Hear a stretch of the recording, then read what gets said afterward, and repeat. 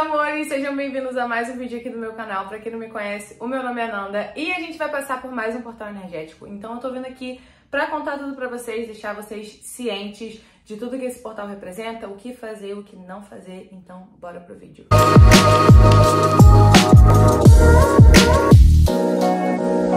Bom, o portal é no dia 3 do 3, então ele traz a energia do número 3 duplicada. E o que é a energia do número 3? O número 3 fala muito sobre alegria, criatividade, comunicação, expressão. Então pode ser que nesse tempo você tenha é, uma vontade de fazer algo que você nunca fez ou alguma coisa que você já pensou em fazer, mas você nunca teve coragem, aí do nada vem aquela vontade, tipo assim, não, eu acho que eu vou fazer isso. Você também vai estar com mais vontade de expressar os seus sentimentos, expressar os seus pensamentos, tipo, comunicar o que você está sentindo, o que você está pensando. É importante lembrar também que os portais energéticos são grandes, grandes fluxos de energia.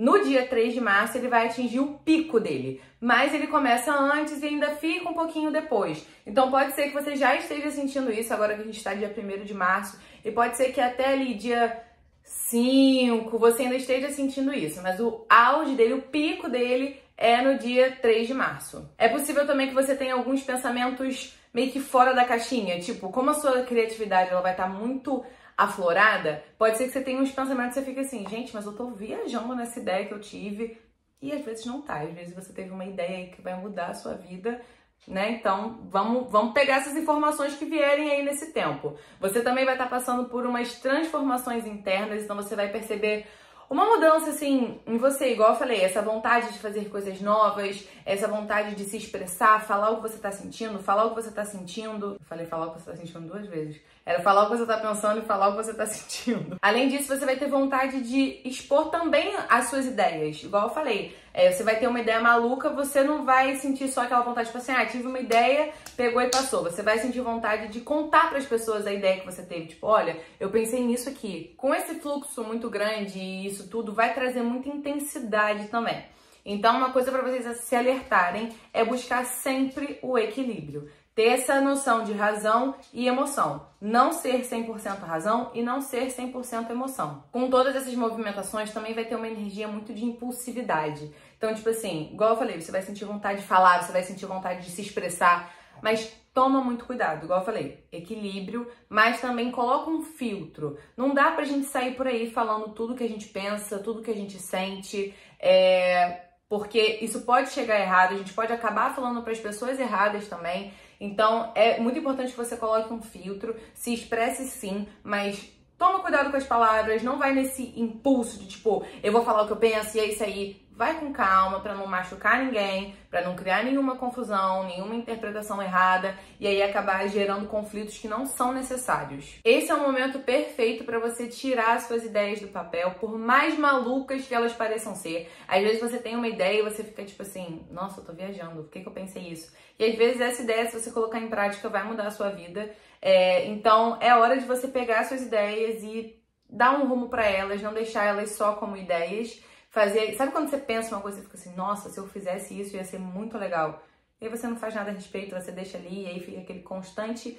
E se eu tivesse feito aquilo? Então, não é momento de si, é momento de fazer. É, se você tem alguma ideia que é a longo prazo, por exemplo, você tem um sonho de abrir, não sei, uma marca de roupa. Comece a estudar sobre isso, faz o que você pode fazer no agora para tirar suas ideias do papel. Então estuda sobre isso, começa a fazer o que você pode fazer no momento. Se a sua ideia for mais imediata, assim, tipo, sei lá, vou postar um vídeo na internet.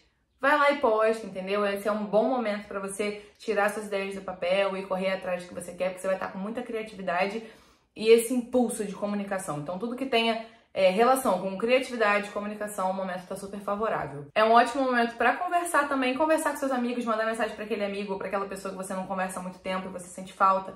Manda mensagem falando: e aí, como é que você tá? Vamos conversar. Conversem bastante sobre as coisas mais diversas possíveis, teorias da conspiração ou qualquer outra coisa. Conversem, só conversem. Tomem muito cuidado com falsidades, tá? Importante. Isso na vida toda, não só agora nesse portal, mas, né? Não perca a sua energia com coisas que não valem a pena.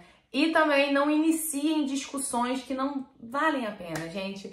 As pessoas elas criam debates e começam debates que não vão levar a nada. Aí é aquele gasto de energia e ficam falando um negócio daqui, outro negócio falando dali. Pra quê? Sabe? Se quiser muito fazer isso, faz outra hora. Agora não é o momento, entendeu? Não vai gastar sua energia com isso. E outra coisa muito importante que vocês não devem fazer é ficar na zona de conforto. O, o próprio nome já diz, né? Conforto. Então você tá ali na sua zona de conforto, tá tudo de boa. Só que você acaba não tendo mudança nenhuma na sua vida. Você tá confortável, mas ao mesmo tempo, a longo prazo, isso vai ser ruim. Porque você vai chegar lá na frente e vai falar, nossa, eu não fiz nada, eu não vivi nada, eu não tenho história para contar, porque você tá sempre na sua zona de conforto. Então é um momento para você sair da sua zona de conforto, fazer algo diferente, começar uma coisa nova. É, por mais desafiadora que ela pareça ser, é muito bom sair da zona de conforto e por mesmo que se der errado, pelo menos você tentou.